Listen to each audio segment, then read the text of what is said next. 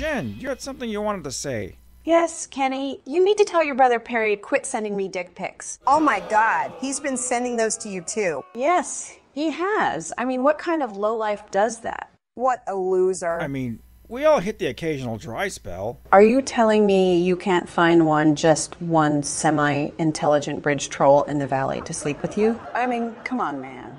We're big time celebrities. Perry, why would we go out with you?